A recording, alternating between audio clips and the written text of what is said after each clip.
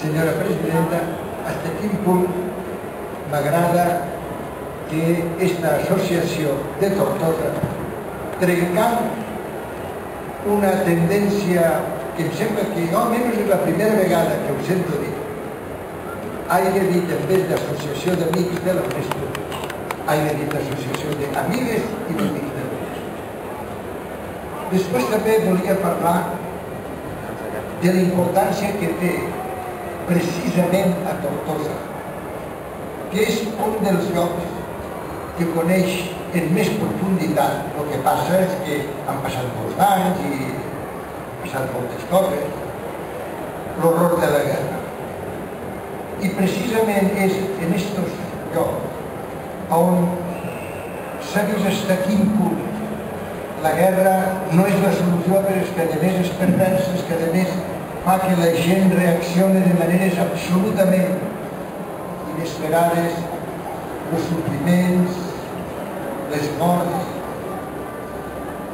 les ferides que queden normalment per sempre, perquè se pot perdonar però no es pot deixar de recordar les coses que han passat. Era un lloc especialment per a una associació d'amigues i amics que volen recordar que la pau és possible, però que ha que construir-la d'una altra manera i que ha que construir-la en l'implicació dels ciutadans, que són els ciutadans, i així ho diu, com saben molt bé la Constitució de l'UNESCO i de les Nacions Unides, són els ciutadans, són els representants del poble, això és la democràcia, els que tenen que implicar-se en la construcció de la pau.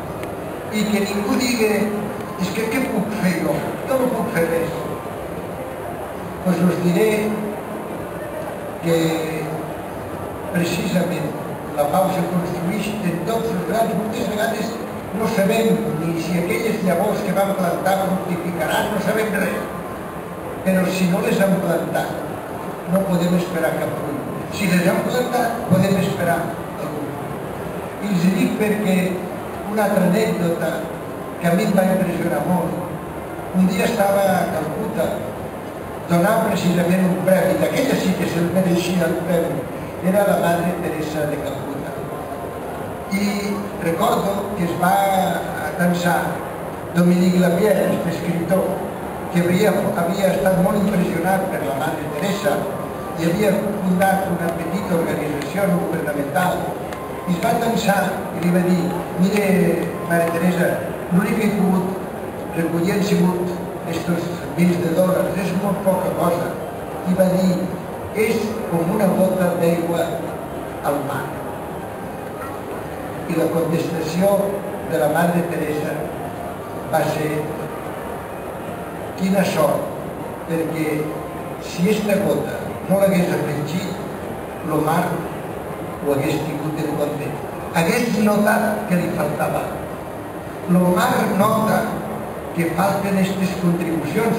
De molta gent que diu no, és que com jo puc fer tan poca cosa, aquesta poca cosa és la que pot ser decisiva, perquè ara arriba el moment, que hi abans, arriba el moment dels pobres, arriba el moment de la gent, arriba el moment en què ens hem d'implicar, que no podem ser espectadors passius, que hem de ser persones actives. I persones que pacíficament pues, expresséssim el nostre dissentiment quan no estem d'acord. Ma mare era de Tortosa. Era una dona d'una generositat, una, una dona acostumbrada a l'austeritat, acostumbrada a la frugalitat. I quan les coses se van canviar per la seva vida, pues, va ser una dona d'una generositat incalculable. Bueno, pues jo recordo una de les coses que em va dir ma mare quan jo devia tenir 14 o 15 anys, que va impressionar moltíssim.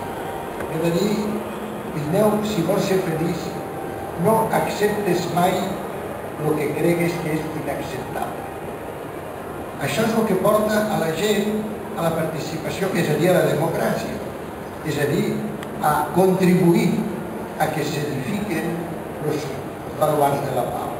La pau ve del diàleg, la pau ve de la substitució de la força per la paraula, de la substitució, de la imposició i del muscle per la conversació.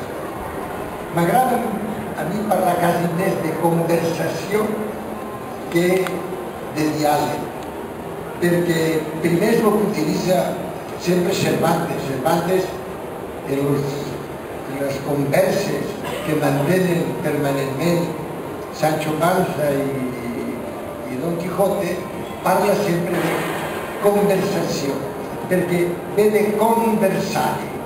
I això vol dir el que està a l'entorn de les coses que un vol tractar. I això és el que hem de fer. Hem d'aprendre a renunciar a la violència per a expressar d'una manera ferma però pacífica els nostres punts de vista.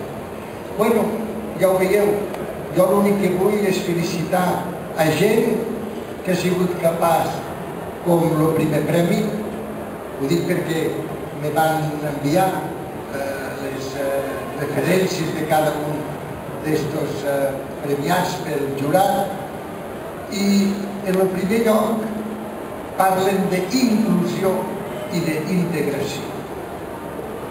Creu-me que això és la gran solució és davant d'una societat a vegades excloent, d'una societat que es vol rodejar només d'un grup de gent que té una capacitat econòmica determinada i que som el barri pròsper de l'aldea global del món. Davant d'això només hi ha una solució que és la d'incluir en vez d'excluir i la d'integrar en vez d'assimilar. Heu vist ¿Eh? el desastre que hi ha hagut a França corre, que quiero tomar unas fotos de, la, de las motos por ahí de la han intentat assimilar